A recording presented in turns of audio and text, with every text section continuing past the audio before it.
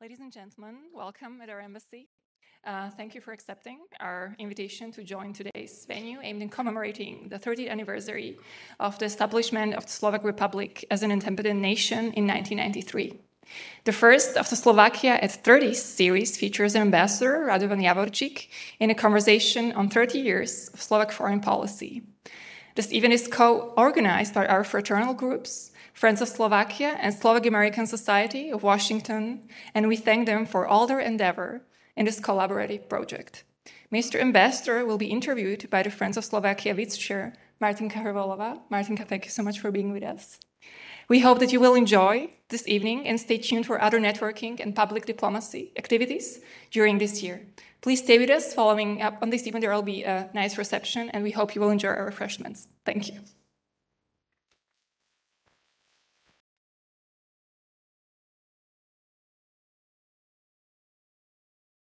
Stanka for the introduction and good afternoon, everyone. Welcome once again to the embassy and also to our online audience that's connecting both here from the United States uh, and overseas, primarily Slovakia. Uh, I'll only add to the introduction uh, that Stanka already provided you with that Slovakia 30 is a series of four um, distinguished lessons uh, with expert speakers, starting uh, with ambassador, followed by speakers such as the deputy former former Deputy Prime Minister of Slovakia, Ivan Mikloš, on economy, uh, other experts on civil society and domestic politics. With that, uh, I'm going to move uh, into the conversation with Ambassador. But before I do that, let me start with a couple of reminders. Um, this uh, session is recorded and it will be also distributed to our online participants after the event. Uh, our online participants will have the opportunity to ask questions using a Slovak uh, app uh, Slido. And uh, we will also have a mic uh, for the guests here at the embassy to ask questions following ambassador's opening remarks. again, my name is Martina Hrvolova and I'm the vice chair of Uh, friends of Slovakia. Uh, because we have a lot to cover, I'm going uh, to jump straight into the conversation with Ambassador. Uh, but if you could bear with me for a couple uh, more minutes, uh, let me introduce him briefly. He doesn't really need much introduction, especially uh, to the audience here at the embassy. but I'll at least briefly highlight some of the key points in his professional career. We all know that he arrived to the United States in January 2021. Um, I believe he came straight from NATO, where he was a permanent representative of Slovakia to NATO. But his prior posts also include uh, ambassadorial uh, position in Israel. Um, he was also a deputy uh, ambassador in London. And ever since the beginning, um, from mid 90s when he started his professional uh, foreign service career, he's been in uh, several management positions, focusing primarily on North America and defense. Uh, my favorite fun fact about him is that he's a mechanical engineer by education, but he is, of course, uh, also educated in international affairs. Again, because we have a lot to cover, uh, let me now turn to Ambassador and ask him to kindly provide, uh, provide his introductory remarks. Ambassador. Thank you, Martina, and thank you for all of you who uh, came to the embassy through the traffic and to all the, the viewers on on the internet. Uh, Martin, I was uh, afraid that you would ask me where I was uh, 30 years ago exactly. Uh, I, I, really don't know. Uh, most probably I was at home and getting ready for my uh, exams the last year at the university. but I know when I was on the 1st January 93, I was um, in, in Jasna, in a ski resort, um, celebrating the New Year's Day and becoming a Slovakia independent democratic state. And uh, in the morning on the 1st of January, there was a bunch of uh, Czech tourist skiers coming down the slopes, and their reaction was like, and I, I will say it in, in, Czech, and then I will I will translate it to English. Hele, my jsme v cizině. Oh my God, we are we are in a foreign country. that, that was that was a shock of um, 1993. You know, one day you are skiing in your own country, and then you don't change the slope, and you're in a foreign country. Um, but but uh, to to, to have a small introduction of um, um, of the 30 years of uh, Slovakia and um, and diplomacy of Slovakia, let me have a brief um, remarks on three decades. Each decade, um, for uh, I, I, see it from the political, economic, and uh, sort of fun side of side, fun side of history. The, the first decade was obviously uh, the state building and definition of Slovakia. We emerged from uh, from from uh, the, the, joint state of the joint country with, with Czechs with no currency, no central bank, no army. Well, there was some army there. There were army officers from the Czechoslovak army, but there was no like a formal um, general staff.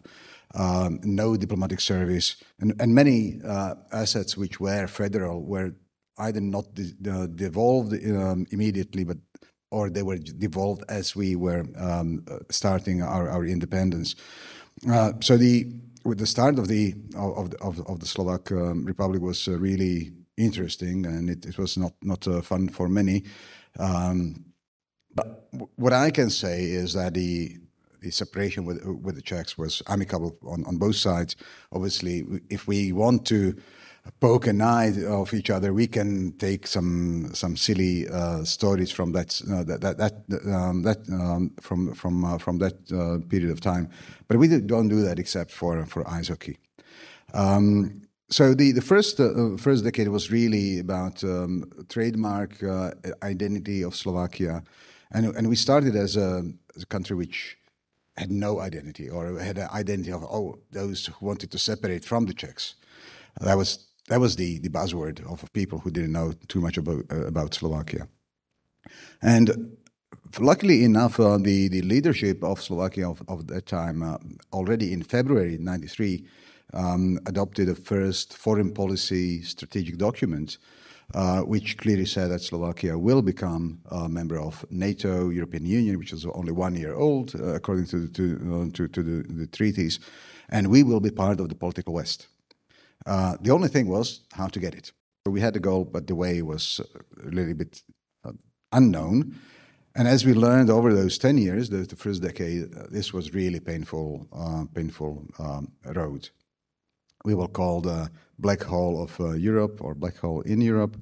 Um, the state institutions helped to kidnap president's son. Um, privatization was um, and everything but not transparent. Uh, economy was uh, coming down.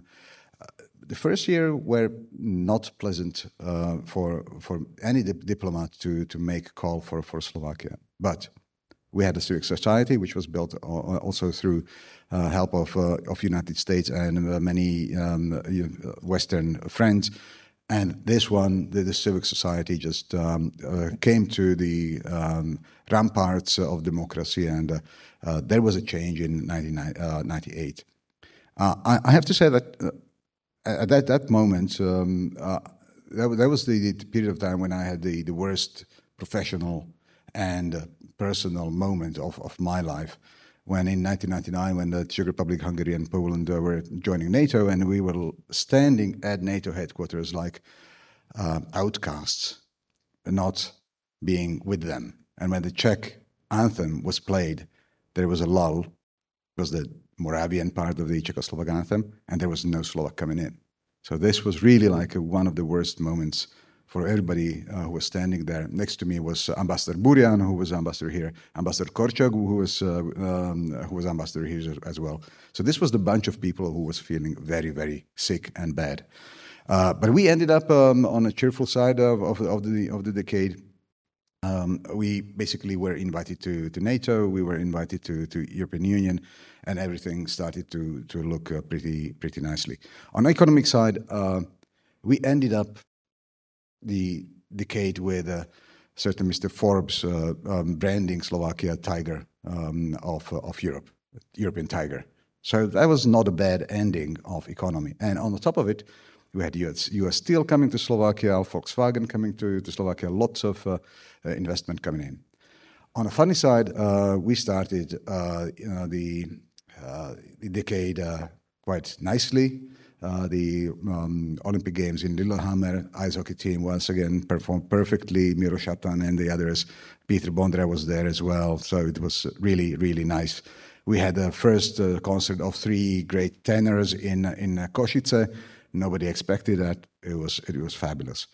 Uh, but as identity of Slovakia, I would say um, the the first decade was really uh, dominated by 9/11, uh, by the terrorist attack on on the United States, and our reaction to that. The second decade of, of Slovakia uh, was uh, um, time of consolidation and coming to uh, to be a good member of NATO and and and European Union. Uh, and we became uh, part of the core of European Union and, and Europe. We were we became uh, members of Eurozone. We were part of Schengen.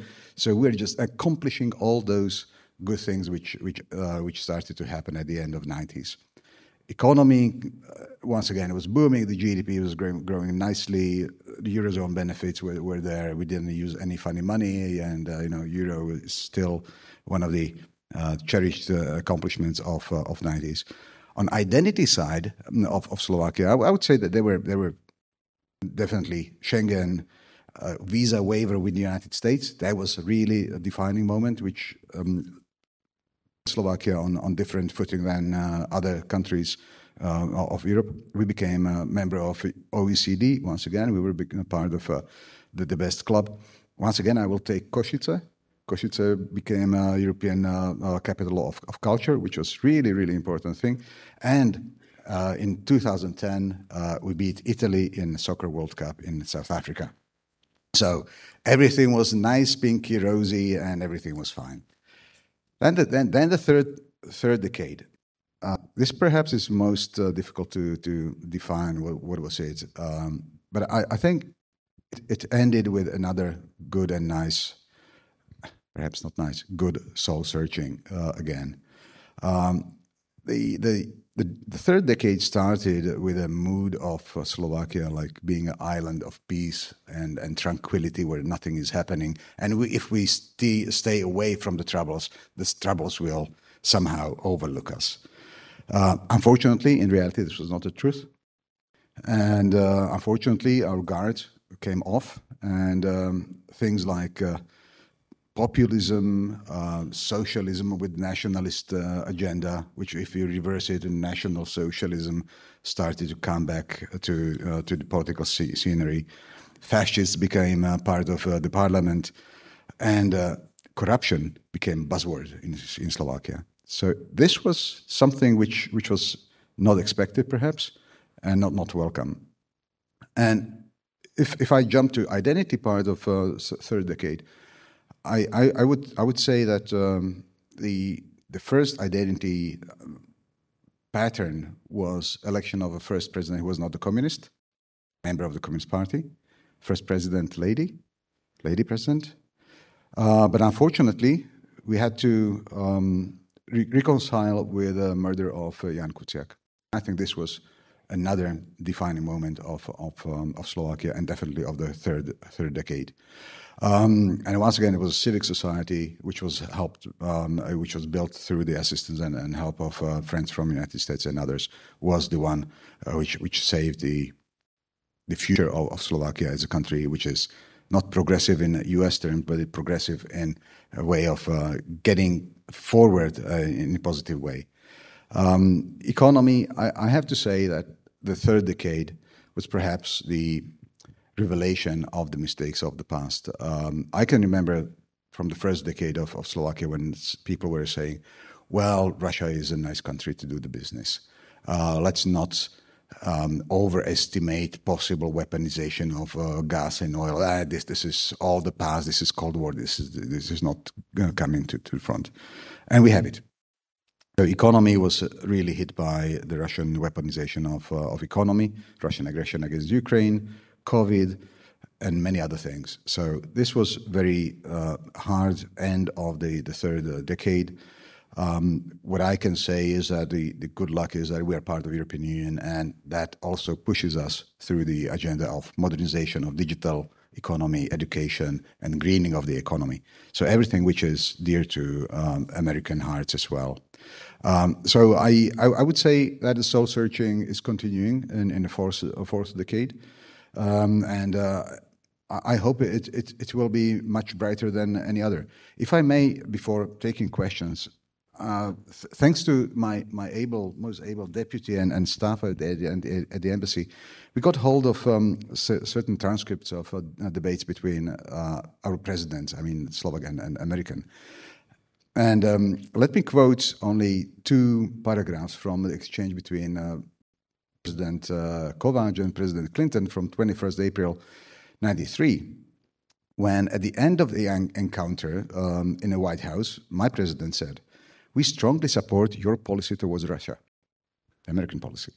You can count on our participation in support of Russia. We also are very concerned about Ukraine. We have had uh, close traditional ties with Ukraine and may be able to help. I, I think Kovac was, was, was visionary and he knew what, what was uh, in, in, stake. And um, President Clinton uh, uh replied, um, uh, replied very nicely with several uh, sentences, but I will quote on, only two. As long as you make progress towards the democracy, we will support you. As long as you try to make progress, we will be very supportive. Again, great. And, and the last uh, uh, piece of uh, President Clinton's uh, response to my president was uh, In my small state of Arkansas, there is a small town of farmers called Slovak. All the people living there are from Slovakia. They are all great Catholic families. Every year I would go to this town and stand with the big farmers. They are all men of large stature like yourself. And you may re- recall that President Kovac was really a big guy. I would serve oysters and talk with them, not with the oysters, but with the Slovaks. I would stay late into the night and hear stories about the old country of Slovakia. There are still many people in the United States with roots in Slovakia that are wishing for your success. And on this, I would close my opening remarks, and I hope uh, to have a good exchange with you. But I think this was a fitting end to my intro because I, I really admire both uh, late President uh, and President Clinton, who is in good health in, in our neighborhood, uh, neighborhood in, in. Thank you, Ambassador. I, I think it was fascinating. And I, as, as you talk about President Kovac, I looked at the audience because uh, most of you um, have been part of a Slovakian success story. And I look specifically at uh, Tom Skladony, who is a founding member of Friends of Slovakia and who was also a public policy advisor to President Kovac, if I'm, if I'm not wrong. So thank you for your service, uh, sir. Uh, and again, each one of you has so much to offer so I'd like to invite you, uh, our guests in the room, uh, to join the conversation with Ambassador. If you have any questions, of course, we prefer questions uh, to statements. Please make your make yourself known to the rest uh, of our guests. Uh, start with introducing yourself and then ask a question. Unless I see, and I see a hand raised. Uh, uh, I will then go back to Ambassador with some of my questions, and I would like to specifically talk about the role of the United States uh, in the past 30 years of, um, of successful Slovak foreign policy. But let's go uh, to one of our guests here at the embassy first.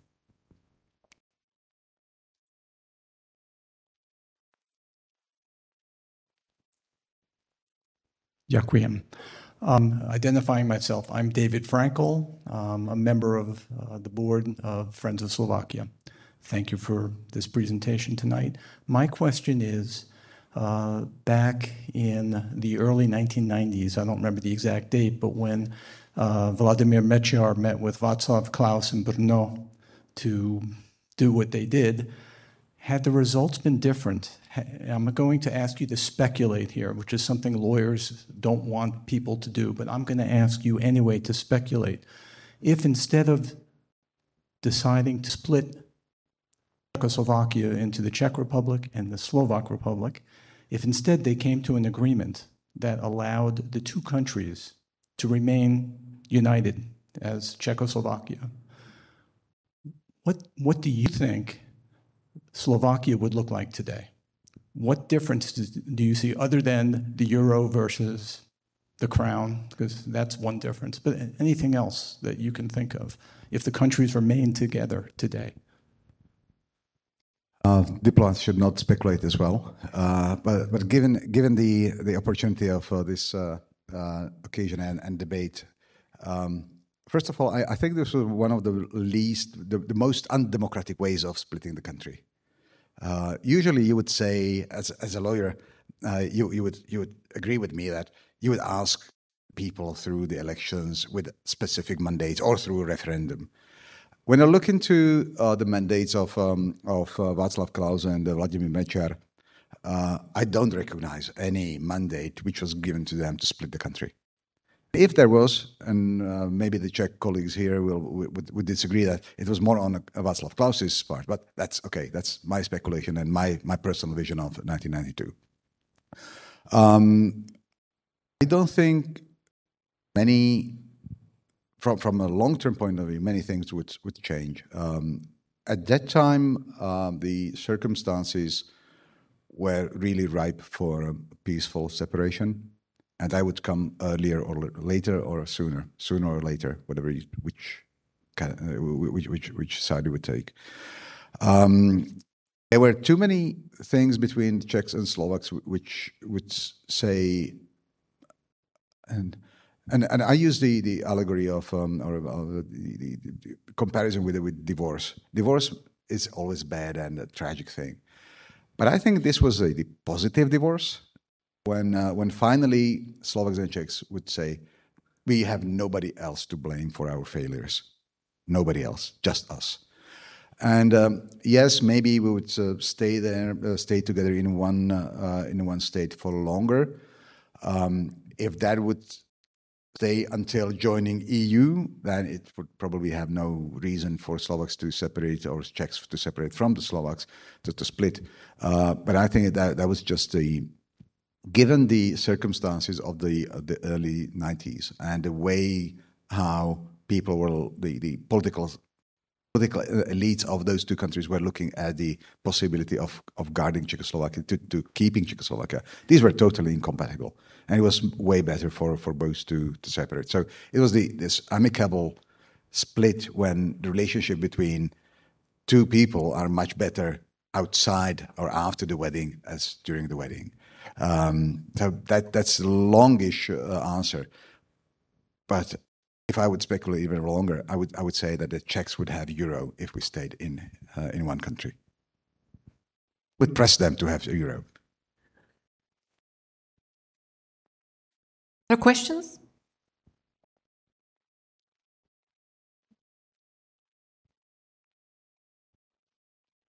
Thank you. Gregory Feifer, Institute of Current World Affairs. Uh, just a, a follow up question uh, about your emotions. Uh, we're among friends, right? So we can speak honestly.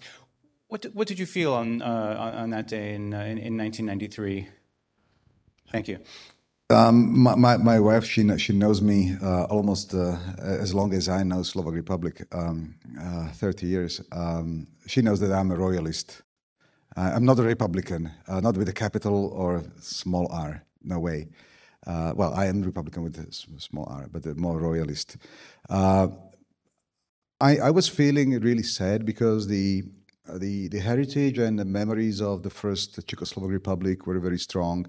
Pittsburgh Declaration. Joe Senko is here, so he is my personification of Pittsburgh and the cohabitation and collaboration of Czech and Slovak exile uh, the success of the Czechoslovak Republic, um, uh, the the joint uh, fight against um, against uh, Nazism, and um, being on on the correct side of the of of the, of the history all the time with the Czechs.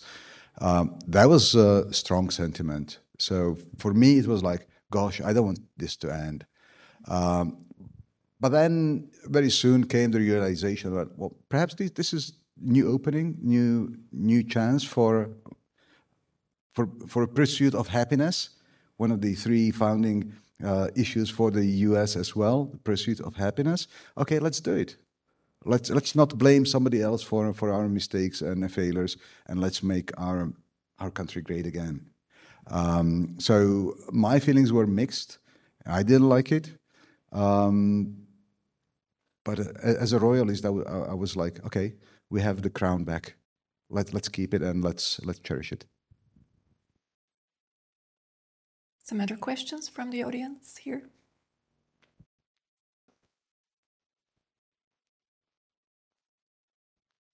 Hi, I'm Ken Bombera, and I'm a chairman uh, of Friends of Slovakia. Um, I, kind of a comment, but you can comment on it. Um, back in, I think it was 2004, uh, Joe, if you'll recall, that you and I uh, were asked by uh, Ambassador Káčer at the time to raise the flag, the EU flag, on the embassy, which we did. And I recall that Ambassador Káčer, of course, who's now foreign minister, um, in his in his little talk or his little speech, he commented that sort of the aspirations of Slovakia with joining the EU and NATO was was to uh, endeavor to become a normal, boring European country. So my question to you would be, what do you think? was that achieved? Well, uh, I, I would, uh, well, ambassador never has to disagree with the foreign minister or head of state. Uh, but I, I, would I would disagree with Rasťo Káčer, with Ambassador Káčer. I would I would uh, disagree. No no no no no. Um, to to have aspiration to be a boring country in the middle of somewhere, uh, that's that's sort of for forgettable stuff.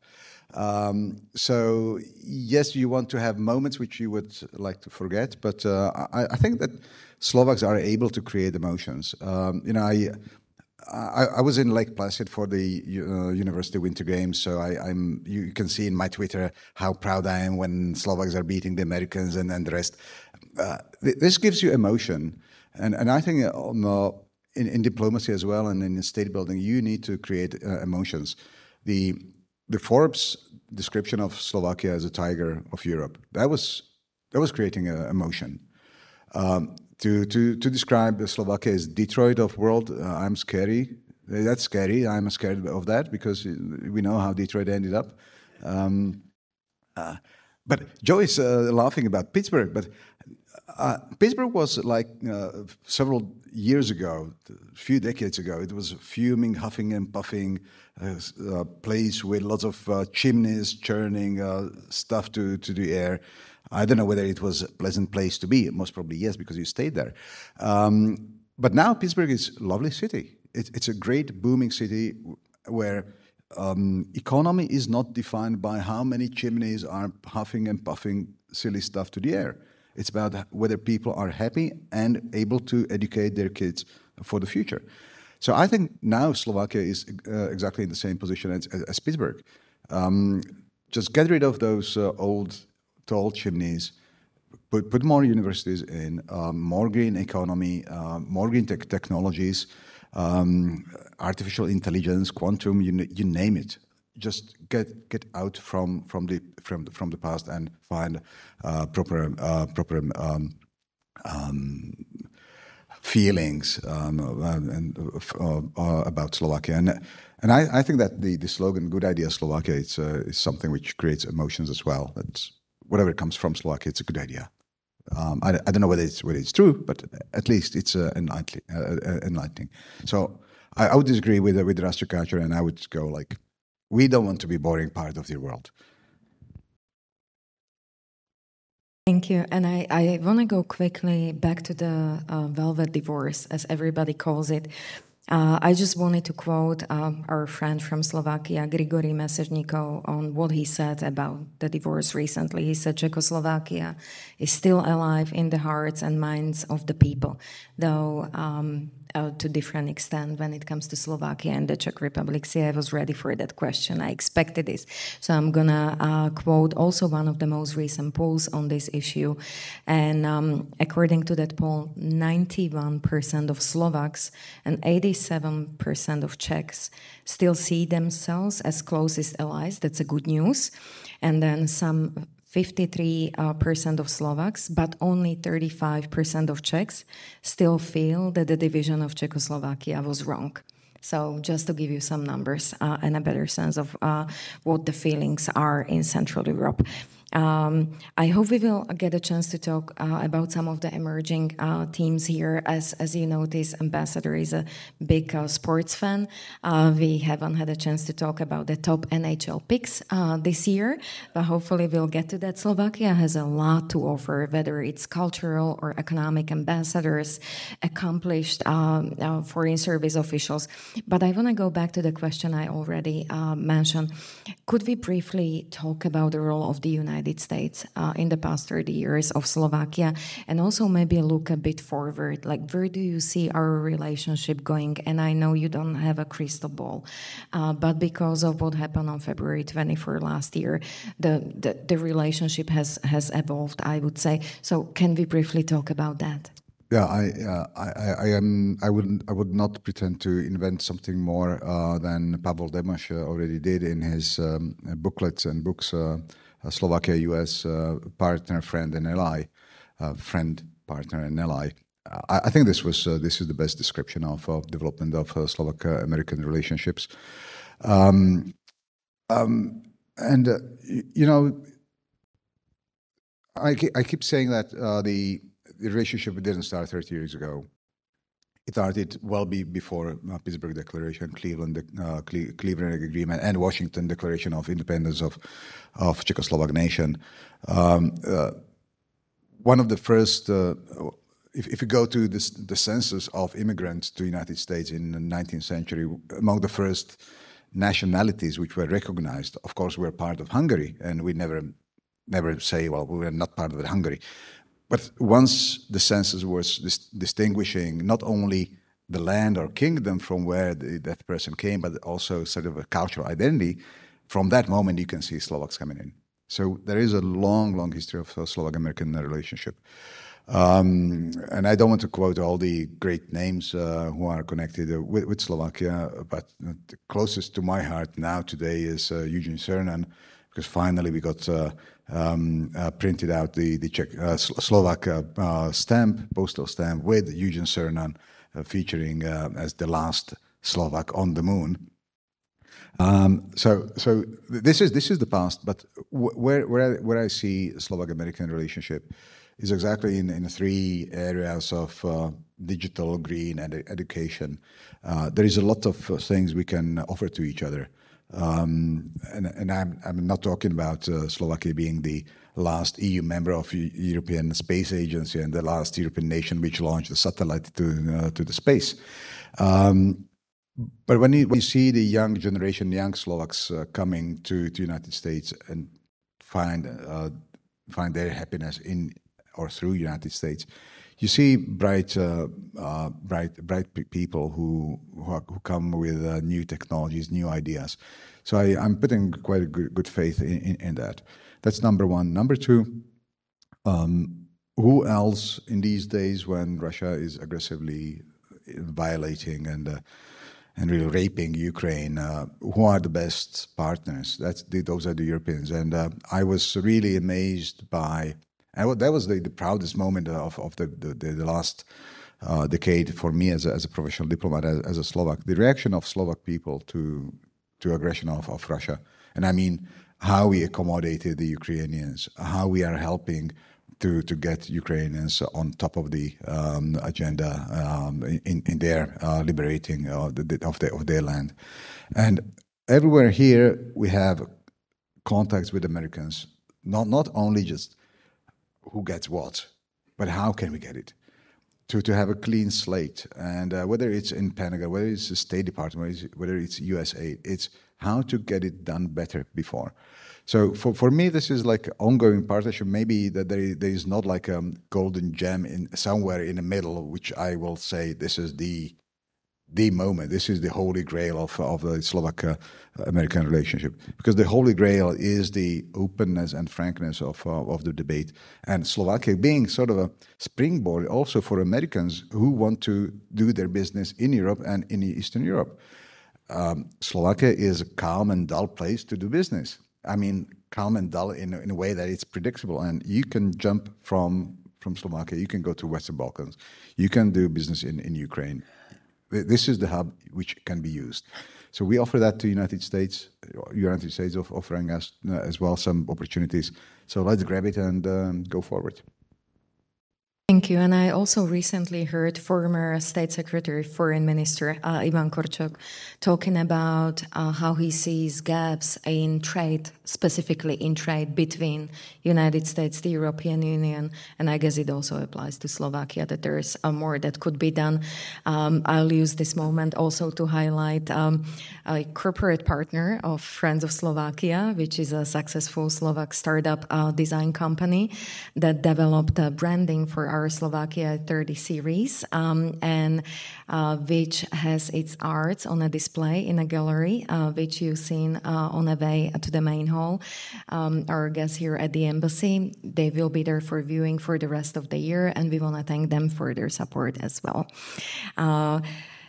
Uh, it's it's just impossible to avoid what's happening in Slovakia right now in terms of domestic politics. For everyone who's following, you know that uh, Slovakia is heading towards early elections.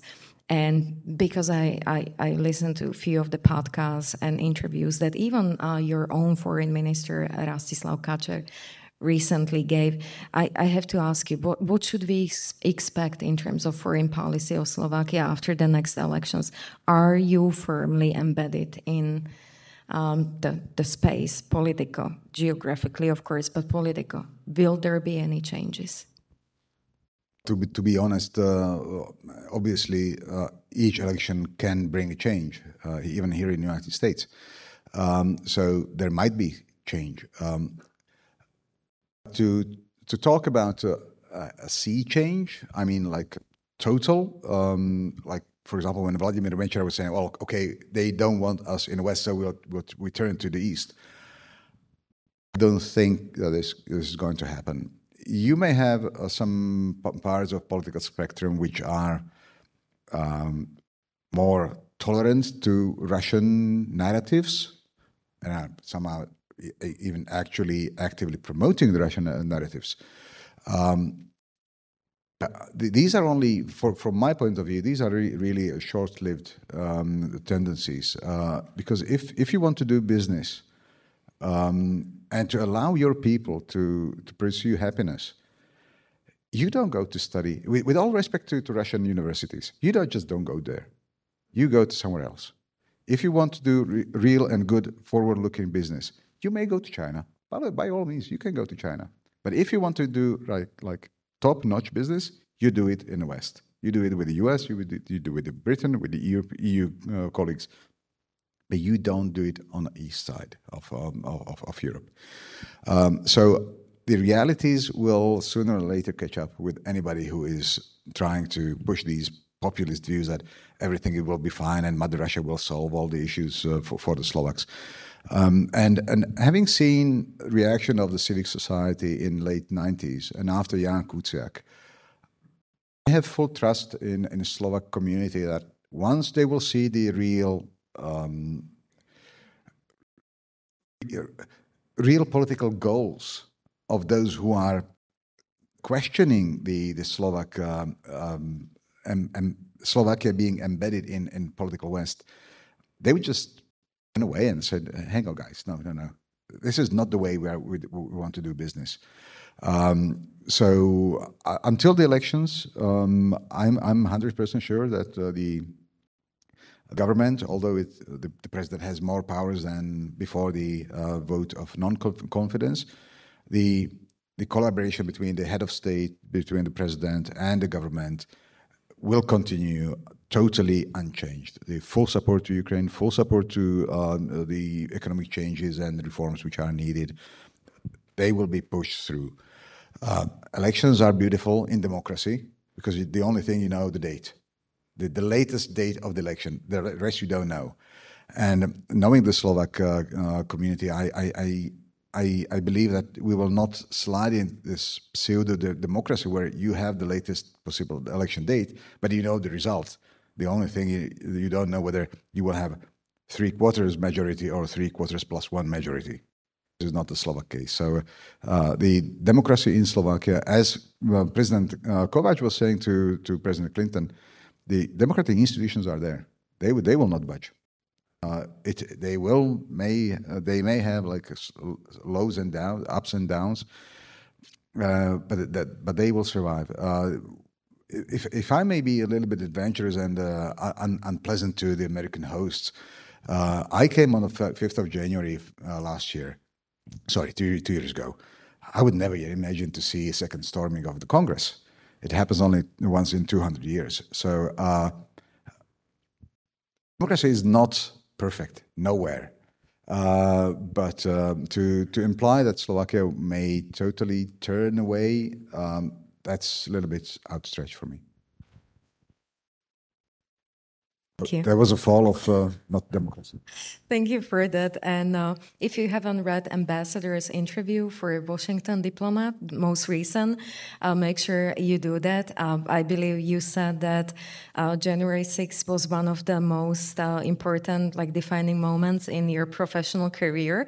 Um, so just a spoiler, I'm not going to go into further details. Um, hopefully everybody will have a chance to read that, read that interview.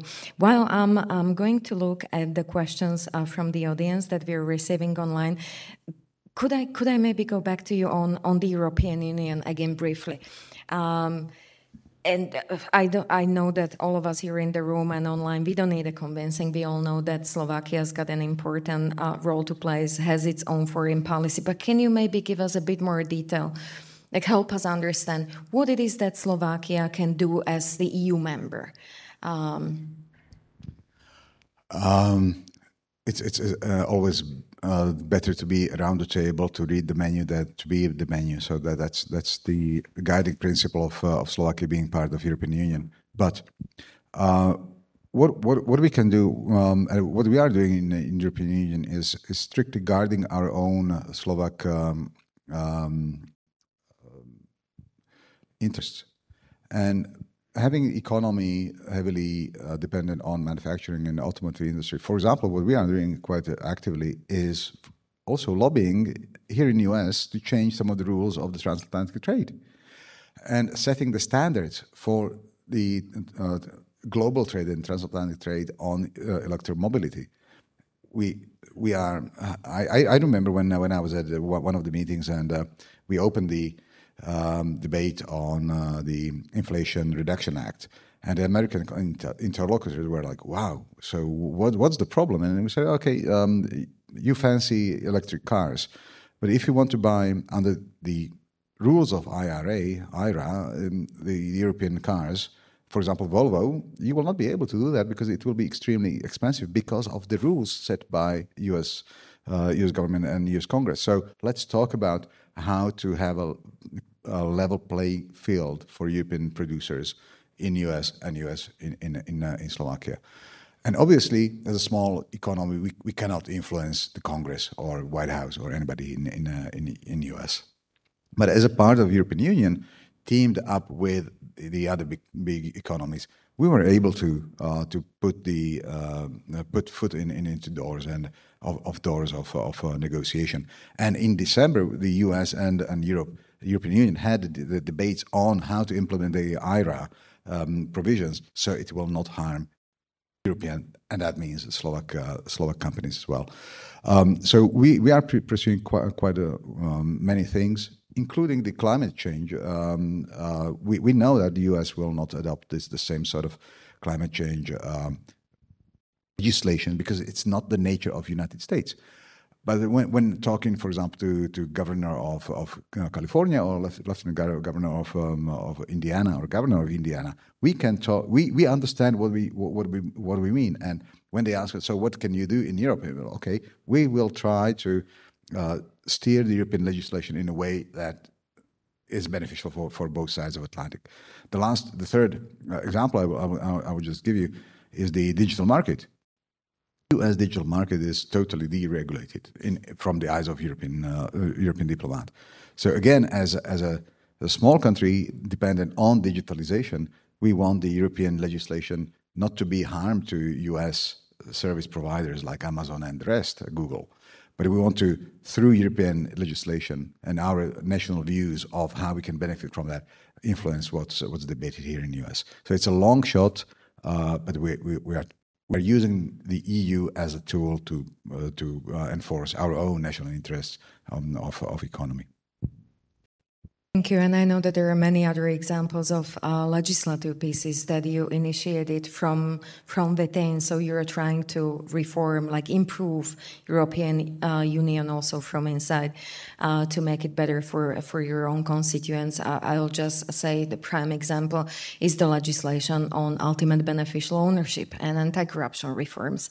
Uh, so I want to congratulate you uh, on that. And many many successful Slovaks are now representing leaving, not necessarily Slovakia, they're independent uh, from the administration, but are in high level positions in Brussels at the EU.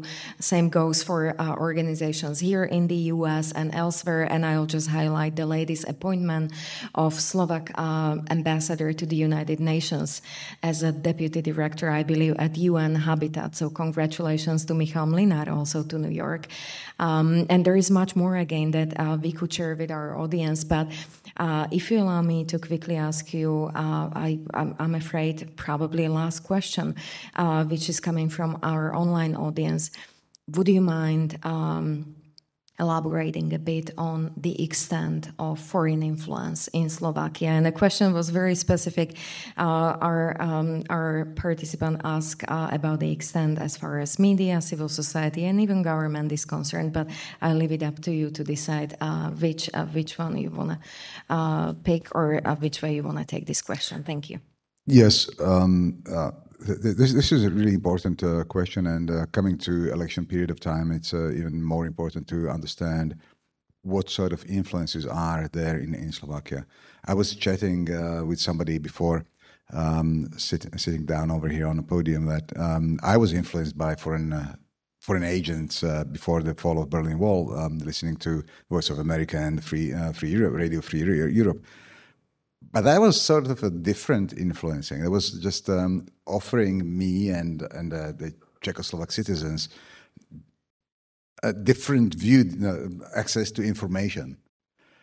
Uh, now nowadays, when you look into this information or information space of Slovakia, you have many agents uh, who are deliberately spreading false narratives about Slovak society, about what's going on around Slovakia and the largest disseminators of, of these disinformation are either willing or unwilling or uh, useful idiots of, of agents from Russia. And I'm, I'm not, not saying who from Russia, but from Russia. And uh, just, just to give, give you one, one, one, uh, one example, one, one number, the, the number of Facebook and Telegram encounters in Slovakia, which are mm, feed it in and which are which are started from Russian environment are ten times more than in Germany, and Germany is way bigger than Slovakia. So why on earth Russia is or the Russian sources are paying so much attention to Slovakia?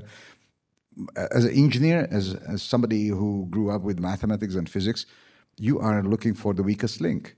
So Russia is exploiting possible weakest link in Slovakia to just disrupt the uh, unity of European Union, the sanctions which are against Russia uh, uh, because of the aggression, and and just just to dilute any you know firmness in, in NATO and, and European Union. The same may go for uh, for agents coming from from China who really don't like to see the malign. Um, I don't want to say influence, but malign activities of, of Chinese companies, which are bound by the Chinese law to perform certain, certain actions.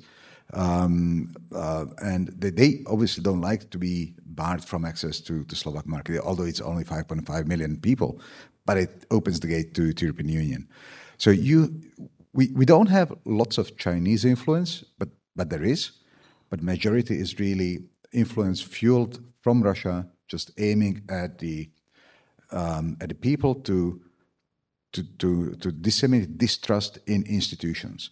And this is exactly as President Clinton was saying. If you want to, democrat- to, to make your society more democratic, we will help you. We will be there for you.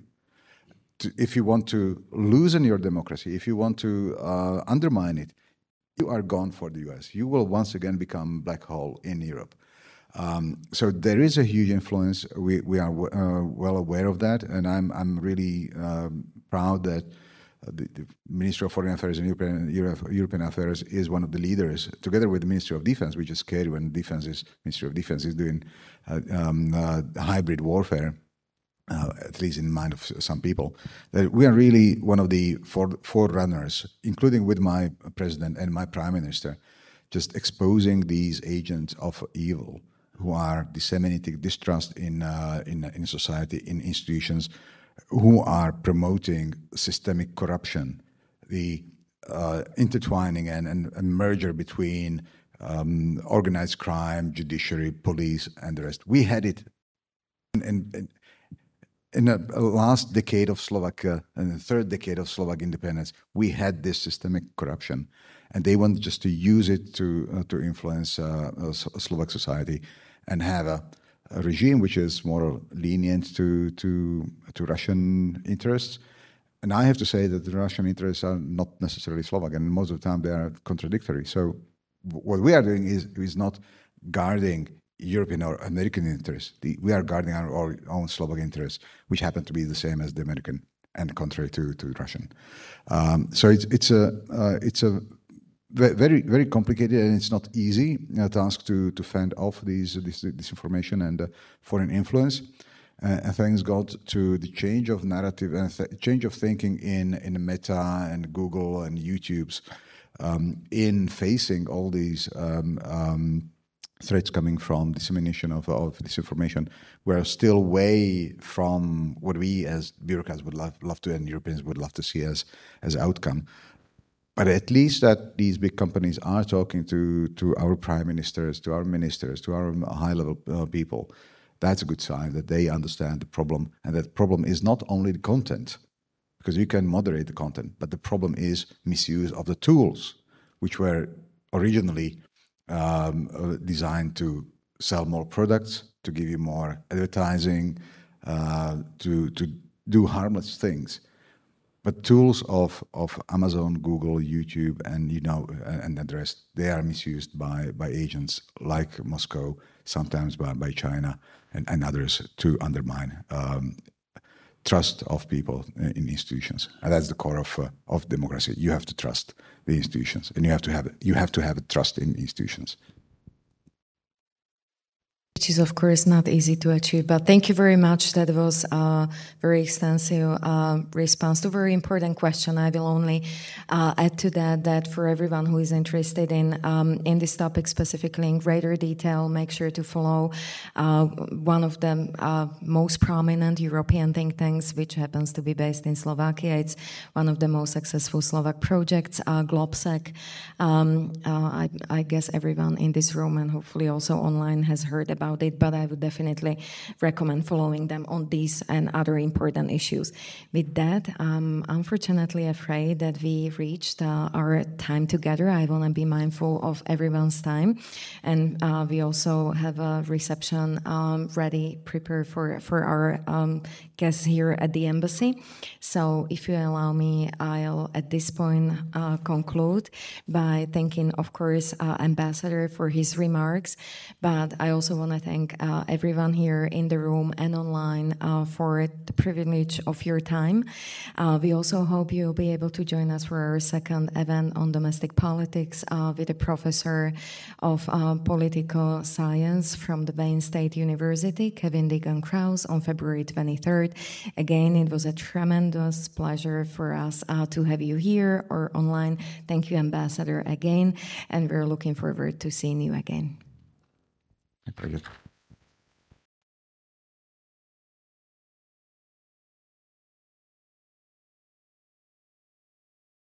please uh, grab the welcome drink in the back, and in the meantime, we'll prepare the space for the reception. Thank you.